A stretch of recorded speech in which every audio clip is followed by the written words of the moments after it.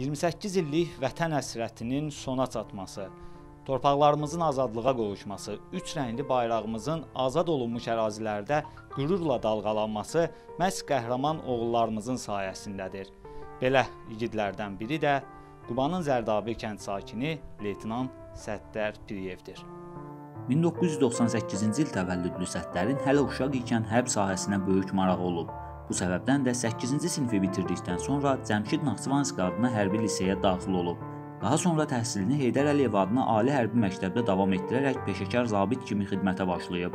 Gənc leytenant əvvəlcə Beyləqan, daha sonra isə Ağcabədi rayonlarında tağım komandiri vəzifəsində çalışıb.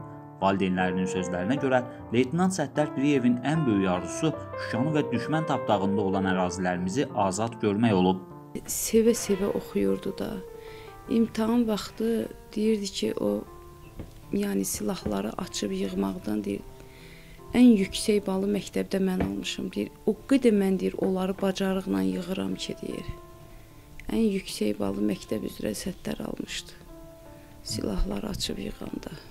Ancaq bir arzusu var idi ki, Şuşaya bayraq taxacam. Tezliklə sevinəcəksiniz. Birdən onun dediyi sözdür ki, tezliklə yaxınlıqda sevinəcəksiniz yaxınlarda sevinəcəksiniz. Ancaq onun arzusu o idi. Sentyabrın 27-sində Vətən müharibəmizin başlaması leytenant Piriyevin çoxdan gözlədiyi an idi. İllərdir bu günü gözləyən Səttər əsl qəhrəman kimi irəli atılaraq Cəbrayıl, Füzuli və Qubadlı rayonlarının düşməndən azad edilməsində böyük fədakarlıq göstərib. Xocavənd rayonu istiqamətində gedən qızğın döyüşdə yoldaşları ilə birgə mühasirəyə düşən Səttər Piriyev bir daha cəsur zabit olduğunu sübut edir.